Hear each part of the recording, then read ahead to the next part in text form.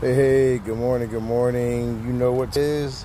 Coffee and a quote out here on this rainy Saturday morning. So let's get right to it.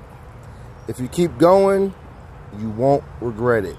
If you give up, you will. How many times in life have you wished you'd have kept at it and stayed at it instead of quitting, instead of stopping? Yeah, don't quit, man. It doesn't matter about money. Having it not having it or having clothes or not having them. You're still left alone with yourself in the end. Billy Idol. Yeah, I like to have somebody there with me.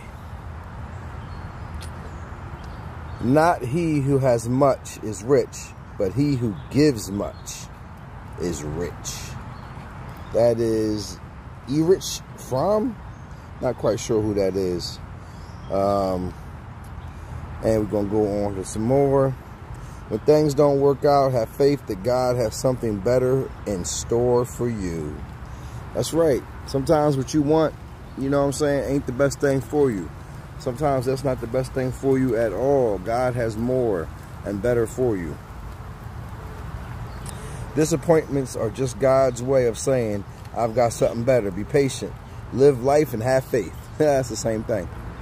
Hey, what what is this going on here? Yeah. We are never defeated unless we give up on God. Ronald Reagan. Have confidence that things will improve.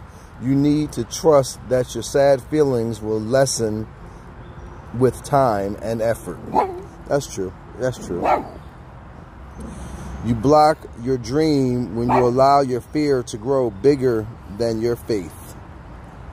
Mary Morrissey. Last one. Silence is your opportunity to hear God. And sometimes you got to be quiet. You got to stop talking, stop hearing the head in your voice, and just listen and feel it. Have a wonderful, happy Saturday. Today is Saturday, the 9th of July, 2022. Be a blessing. Be a blessing.